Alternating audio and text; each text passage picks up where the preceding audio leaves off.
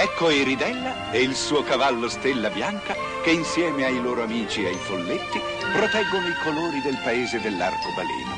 Ma non è facile. Questa volta Marchi Cupo e l'Archiguffo hanno addirittura tolto i colori a Stella Bianca.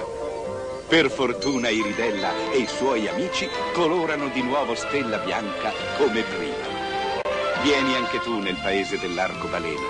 Iridella, colora il tuo mondo.